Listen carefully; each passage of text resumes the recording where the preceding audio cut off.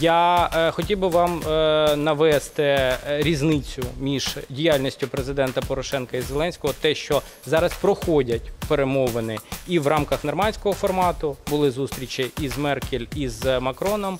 Маніпуляція. Чинний президент зустрічався з Меркель та Макроном, але повноцінних зустрічей у нормандському форматі не відбувалося. Наразі Зеленський лише наголошує на необхідності провести зустріч у такому форматі. 112 канал єдиний в Україні, який мовить, не маючи цифрової ліцензії. У них цифрова ліцензія закінчилась у вересні минулого року. І згідно закону про телебачення та радіомовлення, стаття 52 протягом доби з дня закінчення сроку дії або анулювання ліцензії ліцензат зобов'язаний припинити мовлення. Але це не було зроблено.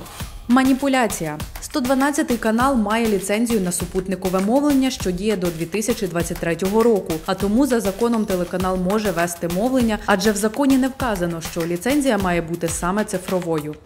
коли більше сотні людей не мають вищої освіти, коли майже сотня людей були безробітними, які дуже давно не працювали, не платили податків, не мають е, досвіду і пройшли лише на почутті людей, що слухайте, давайте дамо Зеленському шанс.